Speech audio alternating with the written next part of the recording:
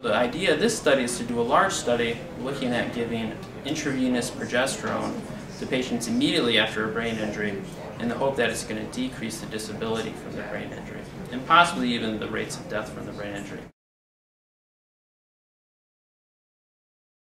So the whole point behind the study is that many years ago, uh, researchers at Emory and others found out that when they were looking at rats who had brain injuries, they noticed that the female rats that got bonked on the head compared to the male rats that got bonked on the head tend to do better.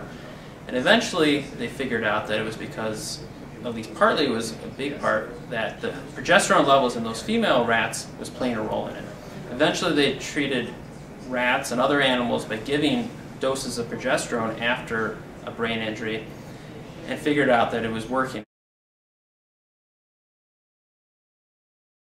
The FDA has guidelines called Exception from Informed Consent.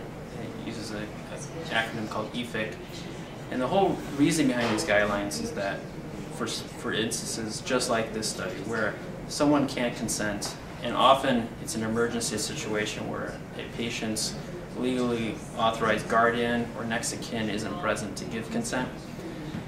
And in a situation like this where we think that a treatment has to be given very quickly and very early in the disease process, the FDA has allowed this to occur where we potentially start a patient in this trial without getting consent. With the idea, again, that this is something that needs to be given quickly to work, that has promise of making a big difference in the patients and future patients, and that is, is safe.